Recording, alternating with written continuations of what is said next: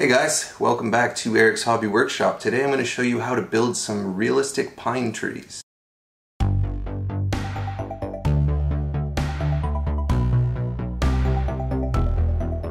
Let's get to it.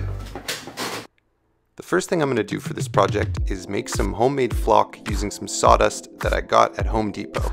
I just picked it up over by where they saw pieces to order. So I put some of that in a jar, add some green paint, and I stir that around. I got this idea from watching a video by Miscast Terrain. If you guys don't know his channel, go check him out. He does a full tutorial on this. It's really good. Yeah, I follow tutorials too. Why wouldn't I? Gotta get knowledge from somewhere, right?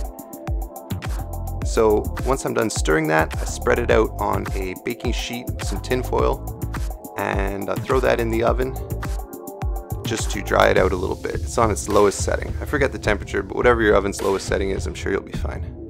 Next I take some jute twine and I cut a bunch of pieces and then I cut a bunch of short lengths of the twine once I have a bunch of them bundled up in my fingers. This makes this nice fiber stuff. This is based on a technique by the Bard's Craft. Go check out his channel as well. He made grass for this. We're going to use this to make some dead pine needles that are going to be going on the forest floor. So as you can see, I added a little bit of brown and a little bit of orange paint to get a nice rusty color. And it lumped up a little bit. Maybe I didn't do it right, maybe I didn't follow the whole tutorial. I have the attention span of a gnat. So I'm adding a little bit more orange ink, that should help out. And then I push it through this piece of mesh, which is just so I don't get my kitchen strainer dirty, to be perfectly honest. But you just want to be able to break up those clumps, and that's what I'm doing here. And once I've done that successfully and pushed all that through that mesh, I get these nice separated pieces that are going to be perfect for needles. So good, these things are out of the oven. I'm to do the same thing. I'm to just push it through my little mesh, gently tapping it, take some of those bigger, woodier chunks and filter them out. And that gives me a finer flock, and I'm happy with that. If you're wondering about the dark green flock on the right, I didn't even use it. Just to save it for later, I guess. This is a fun project though anyways. Next, taking some of the green jute twine I cut a bunch of small pieces about as long as the middle joint on my middle finger or my index finger or my ring finger. I don't know, total approximation, just a bunch of lengths. And once I have those cut, I'm going to separate the pieces into their three component strands with a twist of my fingers and then with a twist in the opposite direction, that strand should separate out into the fibers. This is what we want. We want these nice separated fibers. Perfect. And this is the most tedious part of the project. Separate yourself a bunch of fibers. You could also buy the fibers first, but I like pain, I like suffering. Why else would I do it this way?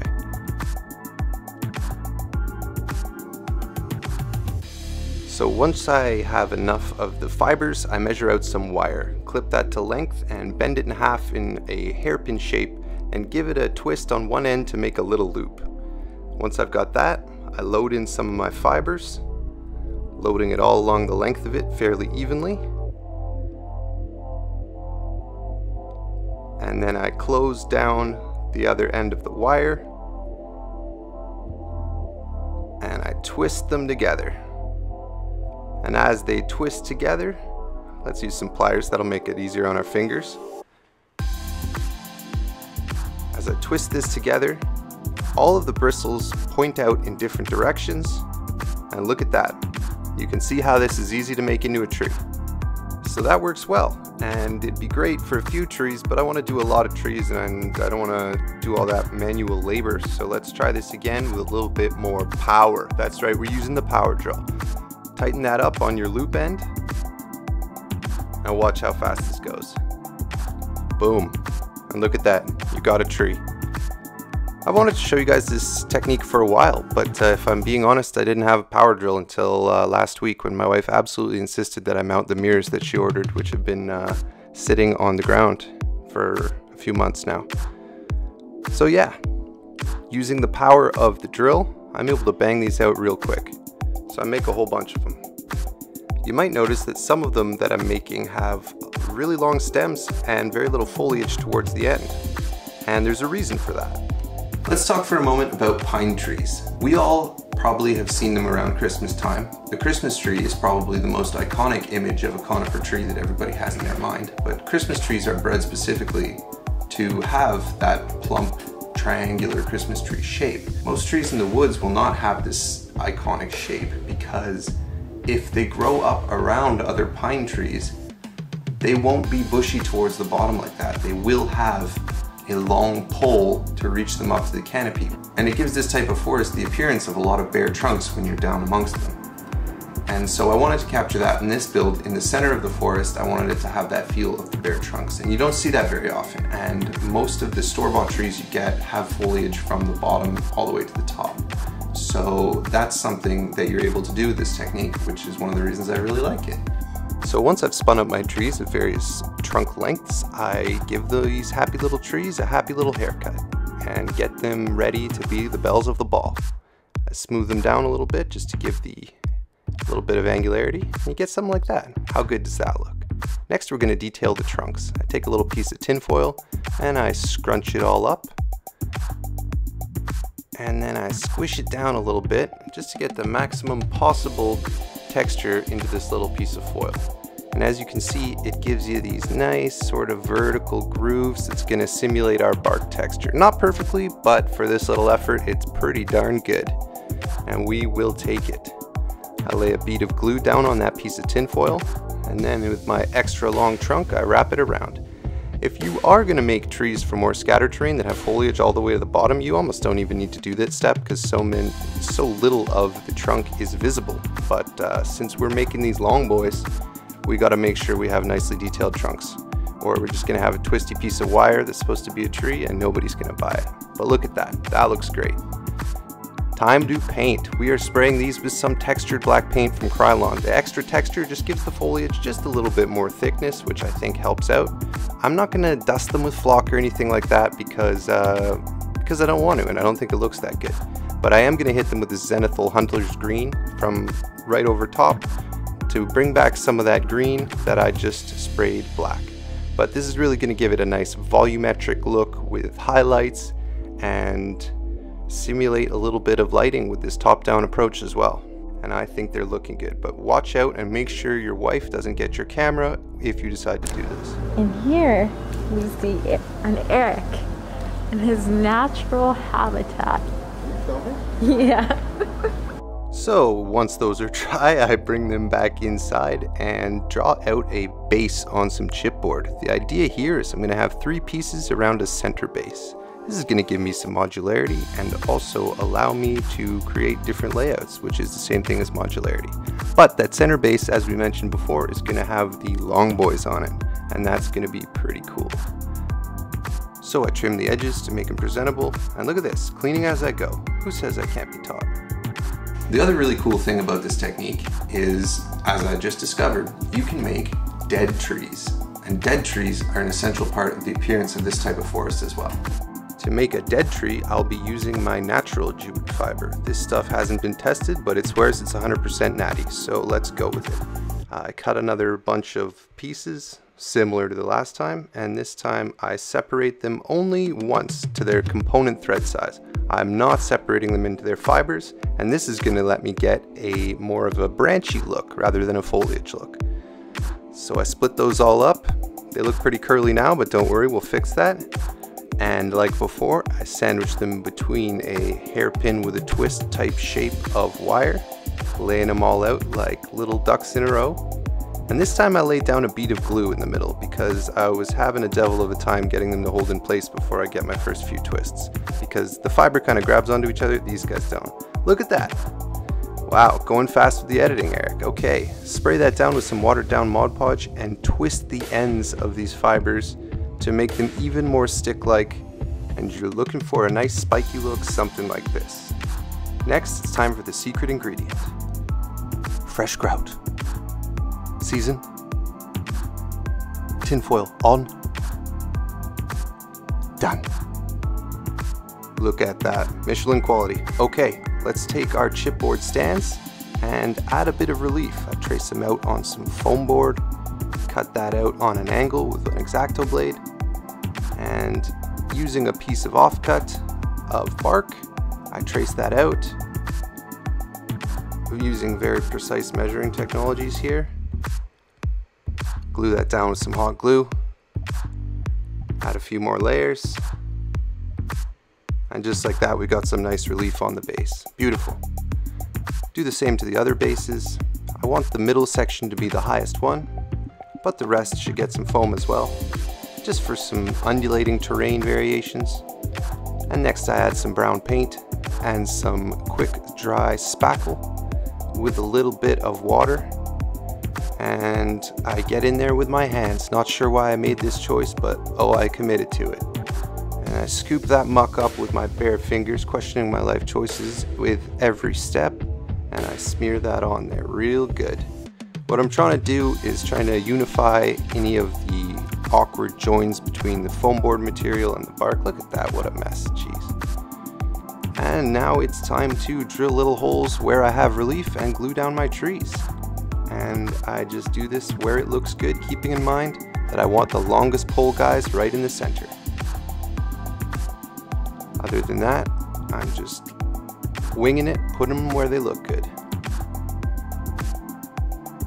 And I'm gonna put that dead tree leaning down like it's fallen over. How good does that look? It looks good. Real good. Nice. Nice. Cut away, Eric, cut away. Modular, yeah, I get it. Okay, next I add some white glue, spread that around with a popsicle stick, and I sprinkle on some sand. Not sure why I chose this piece first, I really should have taken the high ground first, but it doesn't matter. Using my improvised palette, aka the top of the tin I keep my sand in because I don't know why, because I love chaos. I mix this purple color and I paint it on to the trunks of the trees. I say purple, it's really a gray leaning towards purple.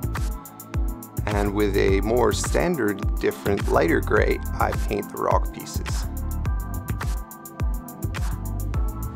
I dab some of that purpley gray in a really watered down version onto my dead tree, trying to unify it in with the trunk. You can't get all the way in the nooks and crannies, but it's already gray from the grout. Next I'm mixing up some brown with a little bit of Mod Podge and with that mixture I am going to paint all the sand areas. This helps seal down the sand with the Mod Podge and also the burnt umber brown paint gives us a nice base for the next layer of ground cover that we're going to do. So I apply that to all of my exposed sand. Helps to water it down just a tiny bit, just so it comes off your brush nicely and flows into all the cracks of the sand and you don't have any light areas peeking out. Next I scrape some of that muddy mixture I made before off my desk because it's important to have a level surface. I dry brush the gray parts with a lighter gray, almost white this light gray is, and that's starting to pick out some of the details of the rock. It's starting to look good, I have to say. Next step is the dry brushing of the soil. And for this I just use a little bit of white mixed into my burnt umber mixture. And this just gives a little bit of definition to all those soil areas. Next I put some watered down Mod Podge under the trees and in some other scattered areas and we're going to pull out those pine needles we made earlier. These really collect in the wells underneath the trees obviously because they fall off of the trees, that's fairly straightforward but they look good if they're kind of scattered everywhere. And don't worry, with these tiny fibers, they get everywhere whether you like it or not. So you might as well just embrace it. Now I can already feel what you guys are gonna say in the comment section. You're gonna say, oh Eric, you should have put more, you, uh, you should have put more branches and everything. Wrong, okay, wrong. Listen, because most of my fantasy miniatures are up in Canada, I only have a few Bretonnians here right now. So Bretonnia is a kingdom that really takes place in the medieval period. And in that period, forests were often quite restricted as to who could access them for what purpose and why. So the main population would not be allowed to cut down trees, would not be allowed to hunt in the forest, that would be reserved for the nobility. But what they would be allowed to do is gather fuel in the forest, which means that medieval forests would be likely very clean at the surface level of things like small sticks. There's the iconic image of the old sort of peasant fella with his back covered in small sticks, and that's what that is, is he's gathering his fuel. You know, you see this in uh, Good King Wenceslas is a good example, or Led Zeppelin 4, that's another good example. Hey, look at this, full of good examples today. But yeah, so it also, another, from a practical point, it's hard to stand miniatures on a really uneven surface of sticks and stuff. So sometimes you gotta use history and lore to justify your terrain choices. Yeah, let's get back to it. Next I'm going to take my light green flock from before and put it into this never used coffee grinder that I have. Uh, my wife and I have a Nespresso machine, so we've literally never used this thing, so guess what? It's being appropriated for terrain purposes. And I'm just trying to blast this down to a finer texture. I really let it go for uh, quite a while I actually sped this footage up, but you really can't tell if the footage is sped up when you're using a coffee grinder. It's kind of a funny thing. Oh yeah, you can tell. That part's sped up. Okay, cool. Yeah, I blast it down to dust, basically. And yeah, it's a little bit more fine. You know, there are still some wood shavings in there, and I didn't like how this looked in the next step, so here I am applying it, and it, it makes me cringe to watch this part, honestly, because I didn't like how it turned out, but I'm gonna fix it, don't worry. So you put that weird looking flock on there, and wow, so you know, this actually looks a lot like the flock I had when I was a kid, which I think I bought from a store. But I don't think it looks very natural. Those lighter bits you can see are little squarish chunks of wood fiber, and it just does not look like moss, which is what I wanted to look like. And this is, by the way, not at all an indictment of Miscast Terrain's awesome flock tutorial. I just didn't really pay attention. I'm uh, got the attention span of a gnat, and I like to multitask. And so if you want to know how to make better flock, go check out his tutorial, as I said. But yeah, I applied this to all my bases because once I'd done one, I knew I couldn't even reverse it. So there's no point in testing it on one because you're just gonna have to do it to all of them anyways and fix them all together to make them unified. I digress. Look, uh, it ends up looking pretty cool. Even that doesn't look so bad. Now that I look at it, yeah, that doesn't look so bad at all. But we are gonna do one more step and fix it up. So what I did to fix it was I took some Mod Podge and green paint and then I added a little bit of yellow paint to that Mod Podge and green and stippled it on to get a nice moss-like effect. And I called it done.